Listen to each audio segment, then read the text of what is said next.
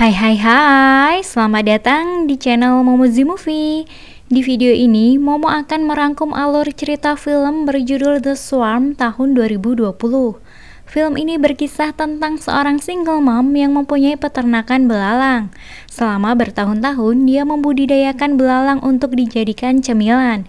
Seiring berjalannya waktu, peternakan itu berubah menjadi malapetaka dan menjadi ancaman untuk keluarga dan orang-orang di sekitarnya. Lalu apa yang sebenarnya terjadi di peternakan itu? Nggak usah lama-lama, yuk langsung ke alur ceritanya.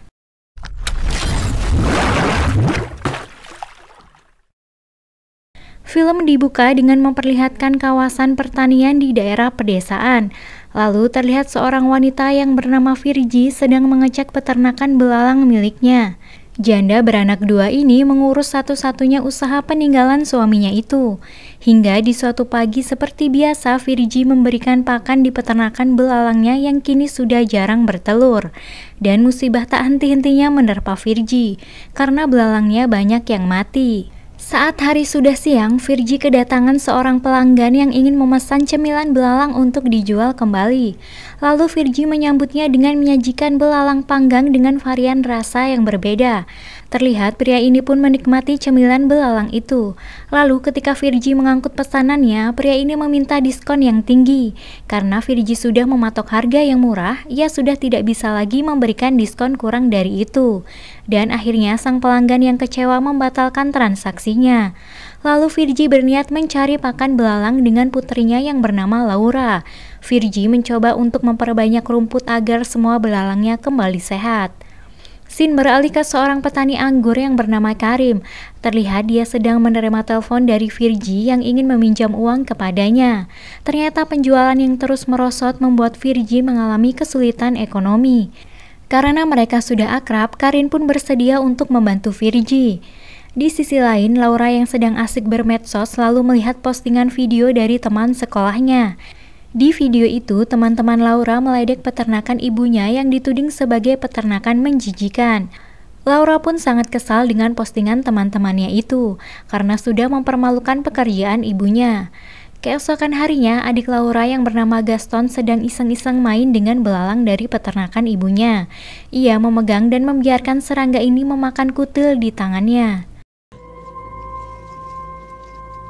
Lalu ia diajak sang ibu dan Laura untuk menjual keripik belalang ke sebuah toko yang biasanya.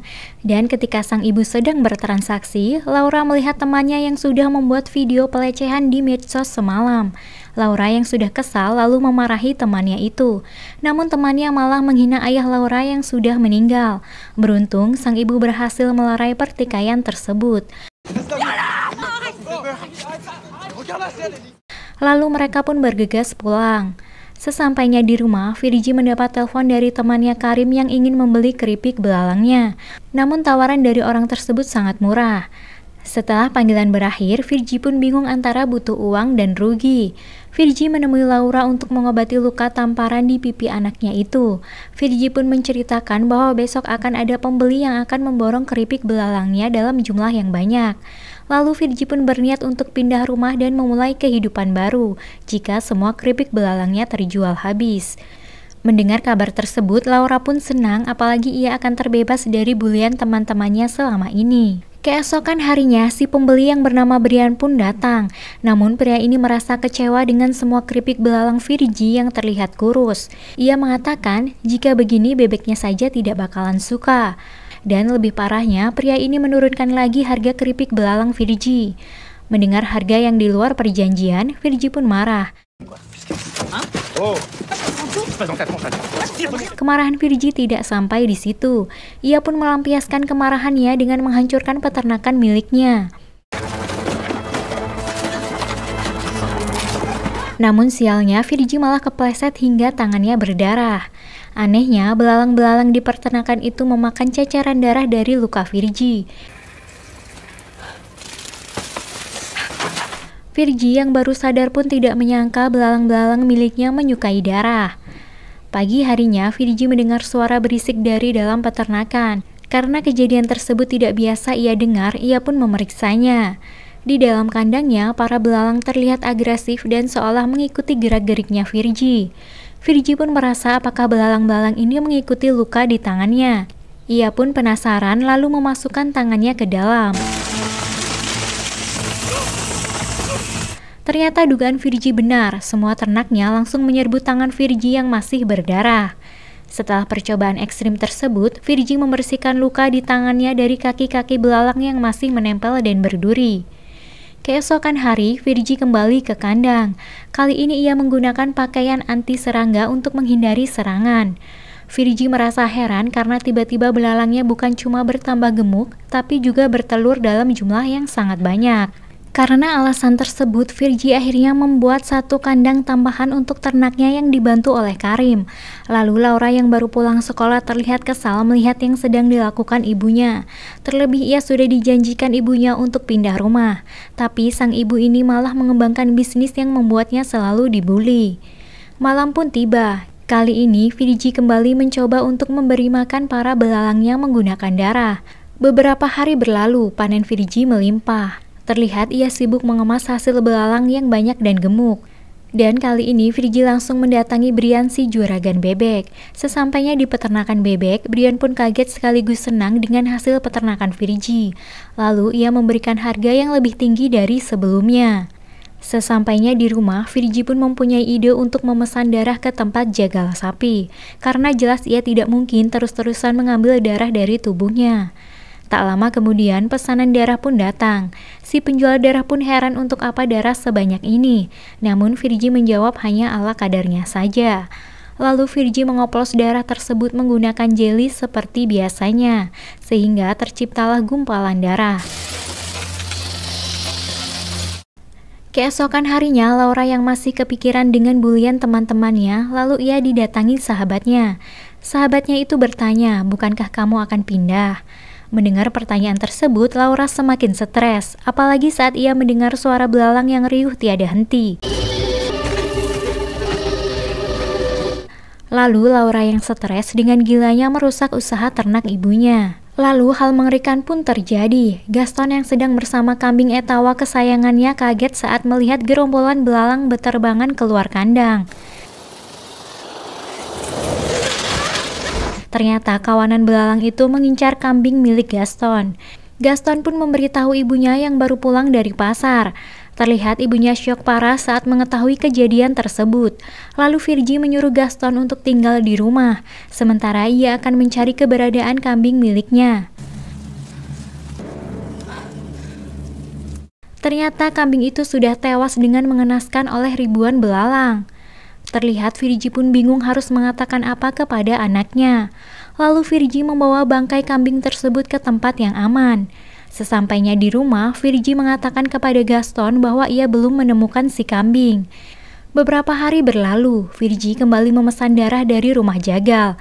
Namun karena keseringan memesan darah, rumah jagal pun merasa heran dan tidak memberikannya lagi darah pesanan.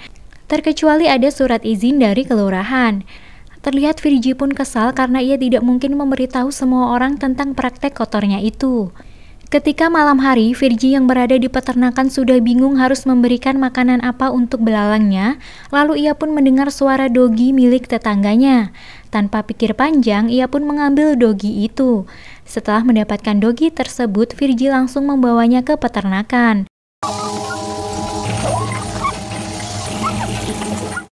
Tidak sampai di situ, ia pun mengambil bangkai si kambing untuk dijadikan pakan belalang. Saat pagi menjelang, Virgi sudah kebingungan dengan hewan apa lagi yang harus diberikan untuk ternaknya itu, karena tidak mungkin ia harus terus-terusan mencari piaraan orang lain. Laura yang baru mengantar adiknya berkemah mencari keberadaan ibunya. Karena tidak menemukan di rumah, ia pun mencarinya ke peternakan. Ternyata Virgi menjadikan tubuhnya sebagai pakan ternak untuk belalangnya. Laura yang syok pun pergi ke dalam kamar mandi untuk menenangkan diri. Kemudian Laura memanggil Karim untuk segera menemuinya di rumah. Tak lama kemudian Karim pun datang. Ia menemui Virgi yang sedang sibuk membuat tepung belalang. Karim berusaha membantunya sambil menanyakan apa yang sebenarnya sudah terjadi. Terlihat Virgi pun menutupi kejadian tadi siang yang sudah diketahui Laura. Karena terlalu banyak darah yang dihisap, kondisi Virgi kini semakin melemah. Karim yang khawatir meminta Virgi untuk jujur kepadanya. Namun tetap saja Virgi tidak mau mengatakannya. Setelah membawa Virgi ke kamarnya, Karim mencari Laura yang sedang menangis. Lalu Laura mengatakan kepada Karim untuk segera melihat kenyataan yang sebenarnya di peternakan ibunya. Tapi tanpa diduga, Virgi mendengar obrolan mereka. Karim dan Virgi pun berdebat. Sementara di peternakan terlihat seorang pria yang merupakan tetangga Virgi yang sedang mencari dogi miliknya yang beberapa hari ini menghilang. Lalu si kakek itu penasaran dengan riuhnya belalang yang terlihat tidak biasa. Ia pun kaget dengan banyaknya belalang yang kelaparan dan sudah siap menyerangnya. Lalu Karim mendatangi peternakan atas permintaan Laura. Betapa terkejutnya Karim saat melihat si kakek sudah tewas mengenaskan diserang ribuan belalang. Setelah melihat peternakan yang mengerikan, ia pun berniat untuk membakarnya. Saat Virgi akan memadamkan api, tindakan itu justru membuat para belalang keluar dari kandangnya. Ternyata belalang itu sangat tertarik dengan manusia. Para belalang itu pun mengejar Karim. Saat sedang memadamkan api, Virgi mendengar teriakan Laura. Ia pun segera mencarinya. Virgin pun syok saat melihat Karim yang sekarat di mangsa ribuan belalang. Lalu karena Laura tidak ada di rumah, Virgi mencari anaknya itu keluar. Ia pun mengikuti ke mana kawanan belalang itu pergi. Sementara itu, Laura panik saat ribuan belalang pemangsa ini kini memburunya. Ia pun berlari ke arah danau. Kawanan belalang itu pun terus memburunya. Ketika semua belalang berada di atasnya, Laura menggunakan perahu yang terbalik untuk bersembunyi. Para belalang itu pun mengepung perahu itu. Betapa kagetnya Virgi saat ia mengetahui Laura digulung ribuan belalang. Lalu ia pun mengeluarkan darah di tangannya untuk menarik perhatian kawanan belalang dari anaknya. Saat para belalang mendekat, Virgi pun masuk ke dalam danau. Hal itu membuat semua belalang masuk ke dalam air hingga mati. Laura yang berhasil selamat menghampiri ibunya yang sudah diserbu belalang. Ternyata Virgi juga berhasil selamat dan hanya mendapat luka cakaran saja. Dan film pun tamat. Nah, itu tadi alur cerita film The Swarm 2020. Jangan lupa like, subscribe, dan nyalakan lonceng notifikasinya. Terima kasih and see you bye-bye.